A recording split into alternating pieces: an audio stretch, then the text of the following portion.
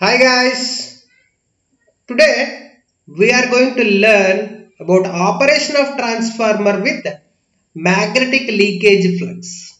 Okay, so let us consider phi L is the leakage flux. Okay, magnetic leakage flux is some amount of load component of flux which links with either HV winding or LV winding, but not both the windings. Okay, which links with either HV winding or LV winding. So this is the magnetic core of the transformer. So it is having two windings. One winding is called primary winding and another winding is called secondary winding. Okay, winding which is connected to source is called primary winding and a winding which is connected to load is called secondary winding. Okay, so uh, whenever source is connected a no load component of current will flow through the transformer and it is having let us say n1 number of turns. Some e1 is the emf induced. E1 is the emf induced. Okay? Some amount of flux will produce in the primary winding will links with the secondary winding will links with the secondary winding like this let us say this flux is phi. Phi is the flux flowing through the magnetic core. Now, to the transformer secondary winding, let us assume a load is connected. Let us say L is the load. Okay, whenever load is connected, definitely some amount of current will flow. That is load current I2 whenever I2 amount of current flows which results in production of phi 2 flux.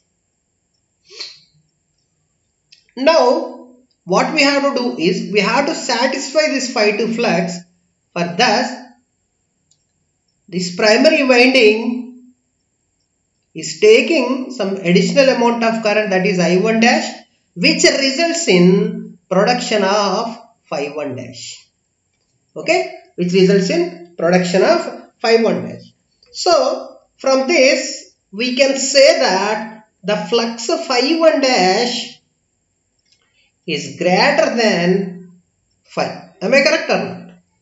Okay. So for leakage flux, what is the cause for the leakage flux?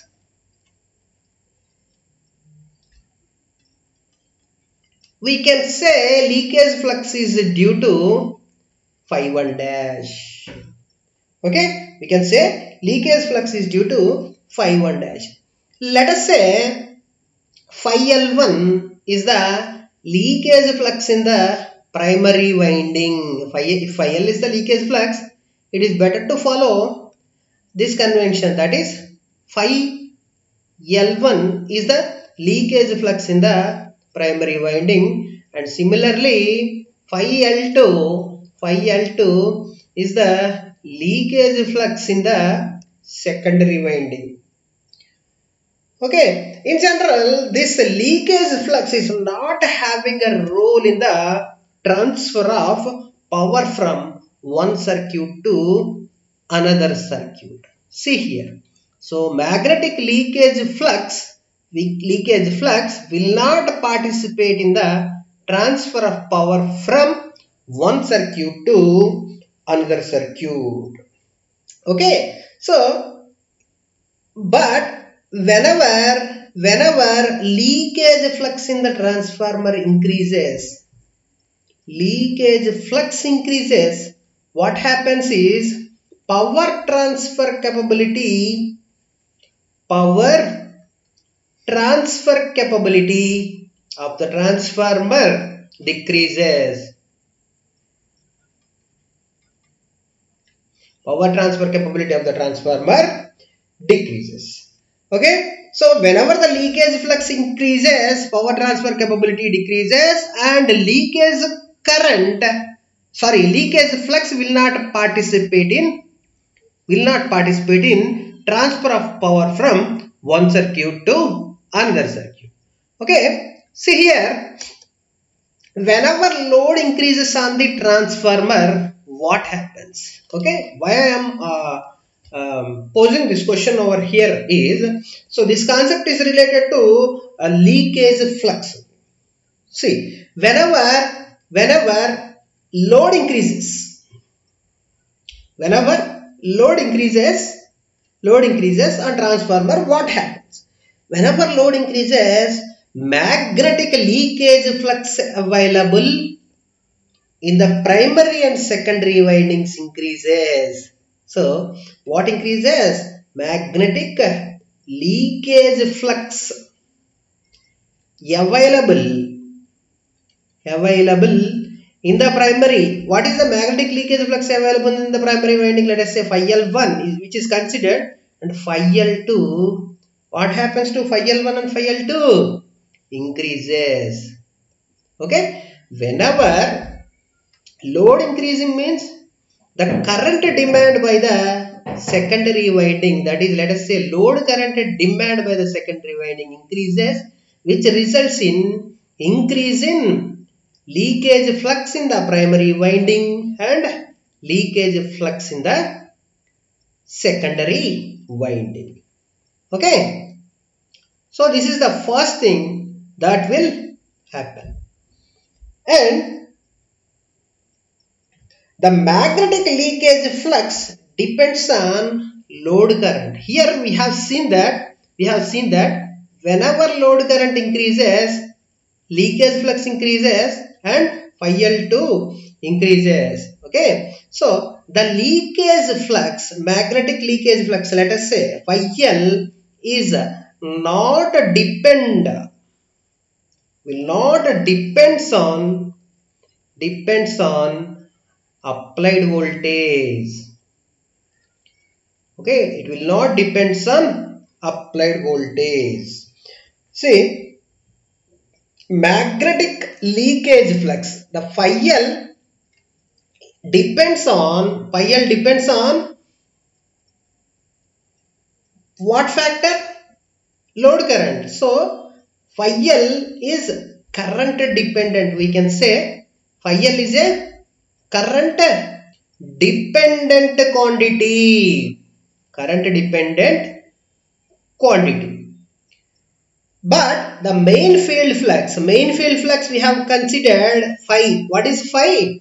Phi is the main field flux. This quantity, this quantity is voltage dependent. Voltage dependent. See here. The leakage flux leakage flux phi L1 phi L1 the leakage flux phi L1 is always in phase with in phase with which current is in phase with I1 and phi L2 phi L2 is in phase with sorry the phi L1 is in phase with I1 and phi L2 is in phase with I2 so phi L1 is the leakage flux in the primary winding. This leakage flux is in phase with corresponding current I1 Phi L2 is the leakage flux in the secondary winding. This leakage flux is in phase with the secondary current I2. Okay. So, one more thing is due to these leakage fluxes, some amount of EMF will also be induced in the circuit. Okay. So, due to these leakage fluxes, some amount of EMFs, let us say E phi L1 is the EMF induced due to the leakage flux phi L1 and E phi L2 is the EMF induced due to leakage flux phi L2. Okay, this E phi L1 is always lags behind the respect to load current by lags behind the respect to load current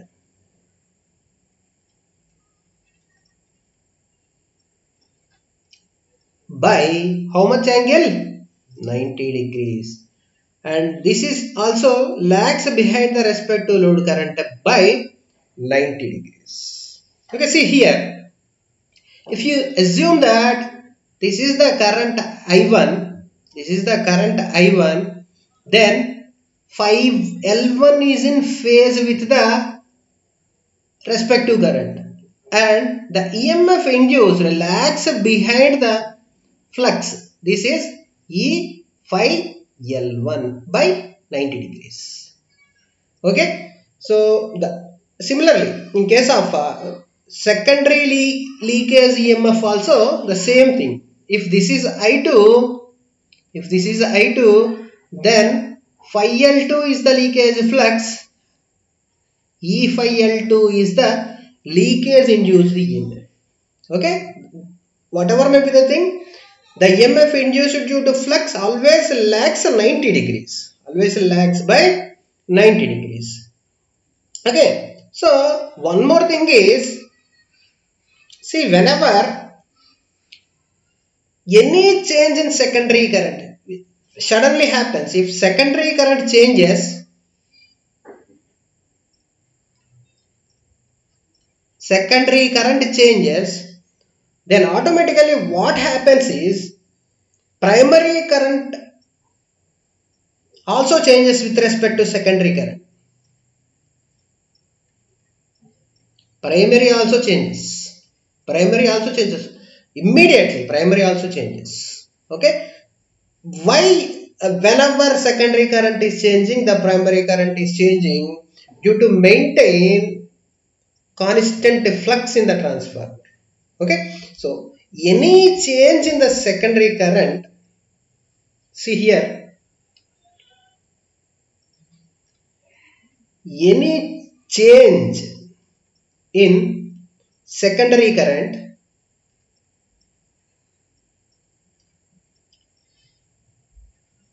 what happens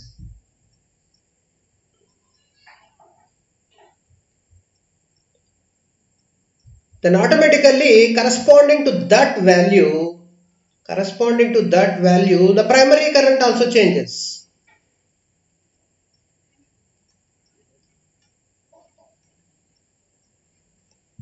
Primary current also changes. Okay? So as to maintain the flux remains unaltered. So as to maintain flux unaltered